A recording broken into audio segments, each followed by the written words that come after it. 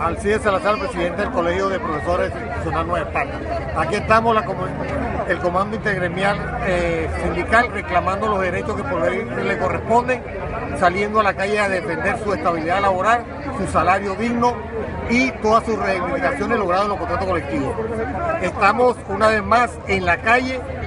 eh, defendiendo la Constitución Nacional que establece que los derechos laborales son irrenunciables, no a la igualdad salarial que pretende el gobierno nacional. Estamos aquí justamente haciendo valer ese derecho que por ley no corresponde, la defensa de la contratación colectiva y el tabulador salarial digno que nos permita satisfacer nuestras necesidades básicas para el magisterio insular y para todos los gremios que hoy sufren las calamidades de este